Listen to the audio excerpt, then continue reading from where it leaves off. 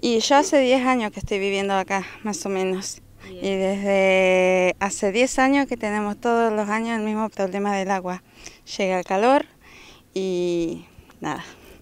No hay forma, no sale una gota de agua. No, no, no, para nada.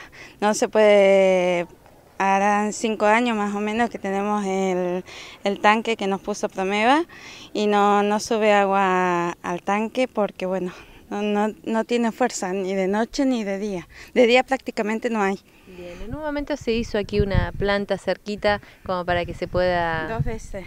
Dos veces y las dos veces eh, la misma gente del barrio o gente dañina de otro lugar se robaron todo.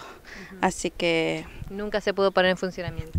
No, para nada. Nosotros siempre en el verano tenemos el problema este del agua, ¿no es cierto? Tenemos un tanque atrás que lo pusieron para eso, para mantener todo acá lo que es el barrio, ¿no? Pero lo que resulta es que se robaron todo. La gente se robó las chapas, se robó todo. ¿Y ahora cómo están? Y ahora, bueno, nos encontramos en una situación que nos falta el agua, pero ya en las tardes llega el agua acá. En la tarde un poquito como que se soluciona. Y sí, ya, pero bien tarde.